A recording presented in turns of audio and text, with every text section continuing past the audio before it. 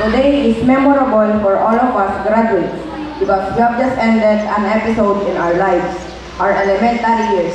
Now, we are about to start a new chapter, our journey to high school. At this moment, I can say that we are now empowered and productive learners, ready to expand our horizons and broaden our experiences.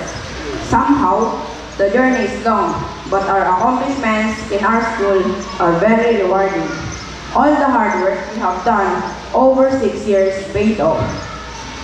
Fellow graduates and my friends, we must keep this quote in mind from Eleanor Roosevelt. The future belongs to those who believe in the beauty of their dreams. Mangarap tayo kahit ano pang kalagayan natin sa buhay. Ang pangarap na ito ang siyang magbibigay sa atin ng direksyon sa ating tatahang landas. Gawin natin ang ating pangarap. Magsikap tayo at huwag tayong susuko para sa ating magandang kinabukasan.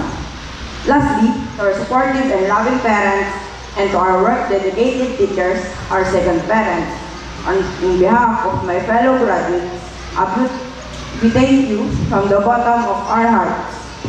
Congratulations, San Jobarat Elementary School, Batch 2022-2023. Let us all make our dreams come true.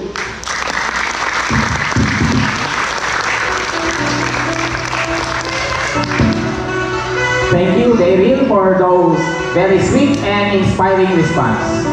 At this point in time, let us give way to Christian James Z. Hieronimo with honors and most helpful to lead his fellow graduates with their pledge of loyalty. Let us stand. Raise your right hand. Follow me after.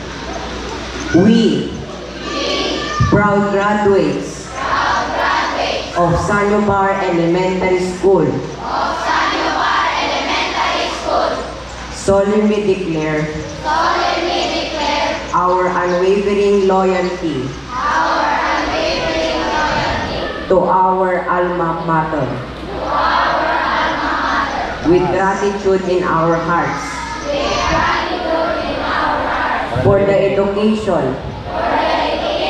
And memories bestowed upon us.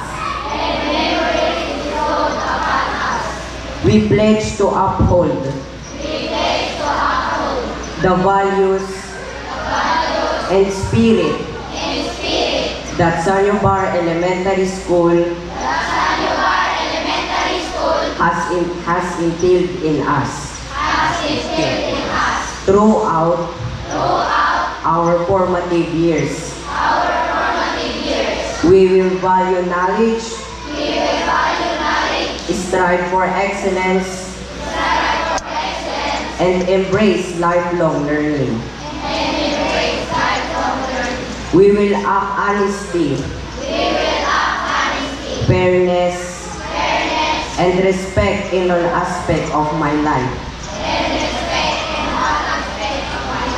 We will remain connected, we will remain connected.